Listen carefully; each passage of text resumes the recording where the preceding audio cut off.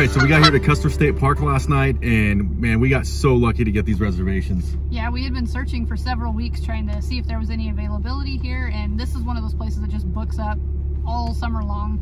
Um, very early. So we just randomly jumped on last week and we saw that there was three consecutive days. Um, so we jumped on it and we're super glad that we did. Yeah, and we got a spot right next to the playground. So the kids are absolutely loving it. They're making friends with all the other kids. Mm -hmm. um, and yeah, so we had a campfire last night as well. That was cool. We actually went up to the general store and picked up some firewood. They have just about everything you need in that general store. I almost spent a lot of money because they have some a lot of nice uh, hats and clothing items and stuff, but had to refrain. Uh, today we're gonna go on the Wildlife Loop Trail. It's what, about a 45 minute drive? Yeah, it's 18 miles. 18 miles, so we're gonna go check it out and see if we can find some uh, buffalo or bison. I don't know what they call them here because the sign over here says bison, but I've seen people call them, or buffalo, but I've seen people call them bison. I'm, I'm so confused at this point. I think it's interchangeable, but just see what we can find and we're gonna go for a nice little scenic drive. So we, we literally just pulled into the wildlife loop and two seconds in, we see two giant bison right on the side of the road. Totally caught us off guard,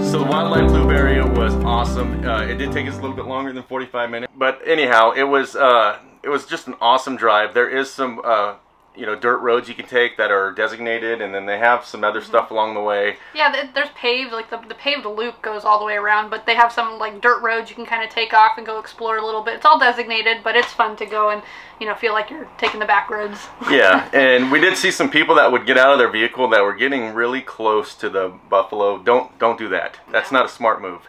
And so uh, there's literally signs everywhere that, that says "Do not approach." yes, they they just really want that Instagram picture apparently. But what was even cooler for us was the next morning when we woke up and made our coffee. We had a visitor. Check it out. This is crazy. This is lit. This is right behind our trailer. We're here at Custer State Park. This is awesome. How cool is this?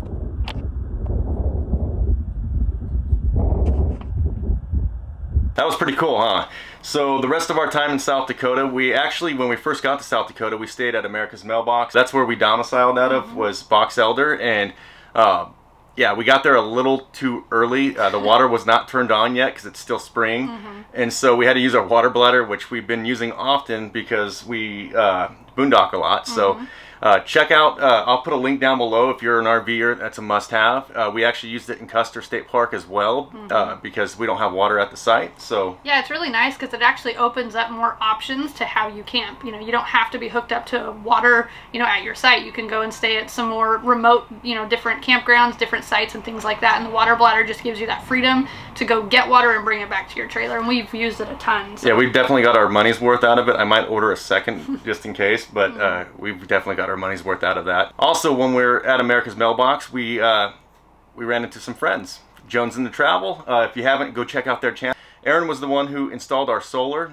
Nice guy, awesome dude. Uh, he's also a mobile RV tech, which just happened to be like just work out great for me because he's like one of the few people I trust working on my rig. And when we came into South Dakota, we noticed actually right when we got there uh, that one of our tires, brand new tire, the inside uh, was wearing. So, so we got here to South Dakota and our uh, rear axle tire is not looking good. We just put new tires on this thing. Check this out. But it's wearing on the inside heavily. Aaron helped me jack up the trailer and we checked the wheel bearings and everything else and we ended up coming to the conclusion that I have a bent axle. So over the next few weeks we're going to be heading to uh, Elkhart, Indiana. We were already planning on going back to uh, Grand Design, the mothership, take the American Dream back there for some warranty work. So um, now we're going to be kind of reroute planning and just going straight there. This episode was supposed to be about like just things to do in South Dakota. Jody's going to write a blog on that. Go check it out at roadventuresusa.com and we'll have things to do around the Black Hills. Mm -hmm. uh, if you haven't already, check out our Mount Rushmore video. That's always fun to go do. You know, there's Badlands, there's you know Custer State Park and mm-hmm. Game Lodge is where we stayed. There's actually more campgrounds than mm-hmm. just that, uh, just Game Lodge. We took uh, Game Lodge because our friends Jouppi Outdoors recommended it last year when we were mm-hmm. here. So yep. we got to see what it was all about. Thank you guys. It was pretty cool. It was a great experience. And yeah. Custer State Park was a bucket list item for me. So I mean, we were super stoked to be able to snag those um, few days on such a short notice because we really didn't think we were gonna make it this time. So um, I feel really excited that we were able to check it out. And we had a great time. It was kind of nice because we got to just unplug a little bit um, and just enjoy camping. We yeah. don't we don't do that often. Yeah, so. believe it or not, we live in our RV, but uh, you know, you think we're camping, but we're actually living most of the time. And you know, our time in Custer this year, it was it was camping. It was mm -hmm. unplugged. It was just enjoying nature. It was you know enjoying the, ourselves as a family and stuff. But uh, maybe next time we'll have to do like a Road Ventures meetup out there. Yeah, we're gonna stay longer next time. We're gonna plan it out in advance. yes, definitely. And with how popular RVing is going, uh, we might have to plan that out sooner than later. So, mm. all right, so we're gonna start heading east. Uh, we're gonna limp into Elkhart, Indiana. We it sucks because we had some awesome campgrounds planned for the kids. Mm. We're gonna limp our way east. We're gonna hopefully uh,